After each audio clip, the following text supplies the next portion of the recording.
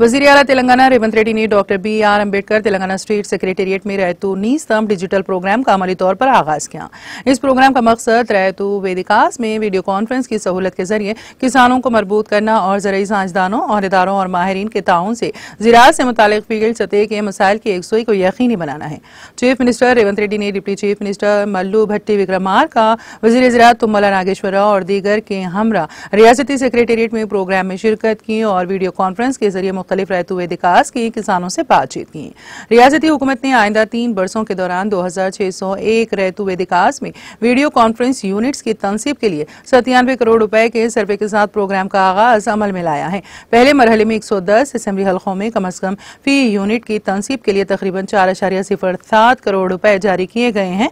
Digital platform का तस्वुर किसानों के लिए ज़रात को बहुत ज़्यादा मुनाफे बख्श बनाने के लिए अहमियत का हामिल साबित होगा।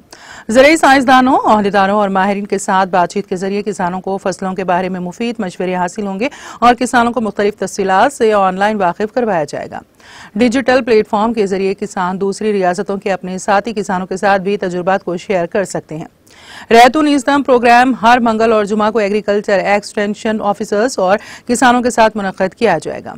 महकमे ज़रात ने professor Jayashankar Telangana state agriculture university के इश्तराक से किसानों की मदद के लिए मस्कुरा बाला प्रोग्राम का आगाज़ किया।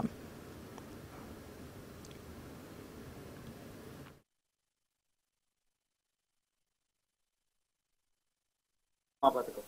కానీ పంటల బీమా పథకం ఉంటే ఏంటంటే పెట్టుబడి నుంచి పంట పండే వరకు ఏ నష్టం జరిగినా రైతుకు ఏ ఇబ్బంది వచ్చినా కరువు వచ్చినా వరద వచ్చినా నష్టపరిహారము ఇవ్వడం ద్వారా పంట పెట్టుబడి వెనక్కి వచ్చే విధంగా కార్యాచరణ తీసుకుంటే రైతులు ఎవరు ఆత్మహత్యలు చేసుకోవాల్సిన అవసరం ఉండదు. అందుకే ప్రభుత్వం అండగా నిలబడుతుంది. ఎవరు రైతులు ధైర్యాన్ని కోల్పోవద్దు. ఈసారి కరువు పరిస్థితులు ఉన్నాయి. పోయిన సంవత్సరం సరైన వర్షపాతం లేకపోవడం వల్ల ఈ రోజు రిజర్వాయర్లలో నీళ్ళు కూడా అడగంటిపోయినాయి. నీటి సమస్య కూడా తీవ్రంగా ఉన్నది. కరీంనగర్ ప్రాంతంలో ఖమ్మం ప్రాంతంలో నల్గొండ ప్రాంతంలో మహబూబ్నగర్ ప్రాంతంలో మన వాళ్ళు రిజర్వాయర్ల నుంచి నీళ్ళు వదలాలి అన్న డిమాండ్ వస్తుంది. అదే విధంగా తాగునీటి కూడా రేపు సమ్మర్లో కష్టాలు కాకుండా ఉండడానికి కూడా మనం అన్ని రకాల ప్రయత్నం చేస్తున్నాం. రైతులందరూ కూడా పరిస్థితిని అర్థం చేసుకొని ప్రభుత్వం నిర్వహిస్తున్న కార్యక్రమాలు అన్నిటిలో పాల్గొని అందరికీ ఉపయోగపడే విధంగా మనందరం కలిసి పనిచేద్దాం. ఈసారి కరువును మనందరం ఆ, కలిసికట్టుగా ఎదుర్కొందాం. ఇది ఈ పామాయిలు నాలుగు సంవత్సరాల వరకు దిగుబడి ఏమి రాదండి. ఇందులో అంతర పంటల